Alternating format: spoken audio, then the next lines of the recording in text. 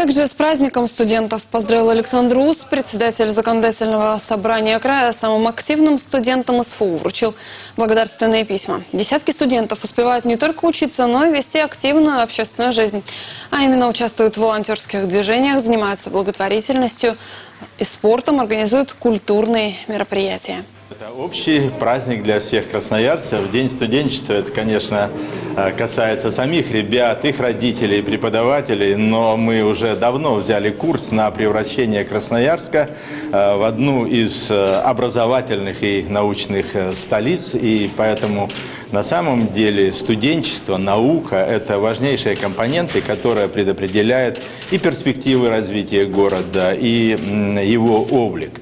По оценкам экспертов, сегодня вот динамичное развитие Красноярска именно в этом направлении создает определенные сложности для целого ряда городов Восточной Сибири, потому что наиболее амбициозная и талантливая молодежь стремится э, учиться в Красноярске, а значит и связывать свое будущее с Красноярском.